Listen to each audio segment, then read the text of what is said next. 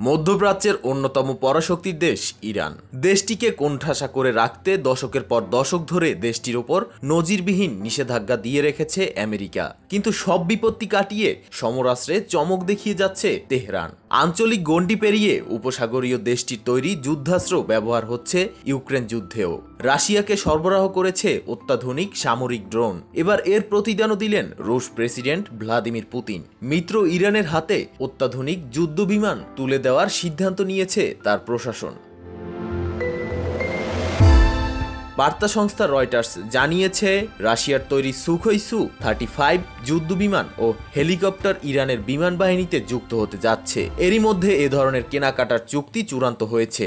স্থানীয় সময় মঙ্গলবার ইরানের প্রতিরক্ষা প্রতিমন্ত্রী এ তথ্য জানান।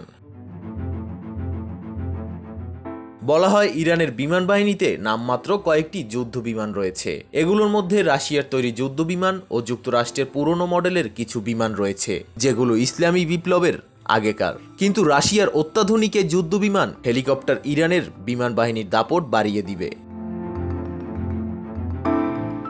ইরানের প্রতিরক্ষা প্রতিমন্ত্রী মেহেদি ফারাহি বলেন, দেশটির সেনাবাহিনীর কমব্যাট ইউনিটে সুখইসু থার্টি ফাইভ যুদ্ধবিমান, Mil Mi twenty eight attack helicopter ও ইয়াক ওয়ান থার্টি মডেলের কয়েকটি প্রশিক্ষণ যুদ্ধবিমান যুক্ত করার পরিকল্পনা চূড়ান্ত হয়েছে। তবে সংবাদ সংস্থা তাসনিম তাদের প্রতিবেদনে রাশিয়ার পক্ষ থেকে এ ধরনের চুক্তি হয়েছে বলে কোনো ধরনের তথ্য নিশ্চিত করতে পারেনি। দু হাজার আঠেরো সালে ইরানের নিজেদের বিমান বাহিনীতে ব্যবহার করার জন্য নিজেদের নকশায় কাউসার নামে যুদ্ধ বিমান তৈরি করতে শুরু করে।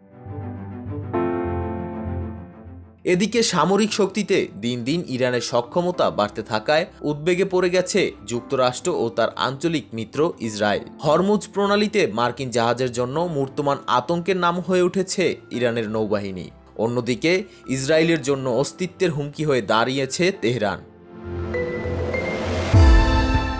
চলমান হামাস ইসরায়েল যুদ্ধ মধ্যপ্রাচ্যে নতুন করে ইরানের সক্ষমতাকে জানান দিয়েছে। তেহরান যদিও সরাসরি তেল আবিবের সাথে সংঘাতে লিপ্ত হয়নি, তবে মদতপুষ্ট গোষ্ঠী দিয়ে ব্যস্ত রাখছে নেতানিয়াহুর দেশকে। IBTV USA New York.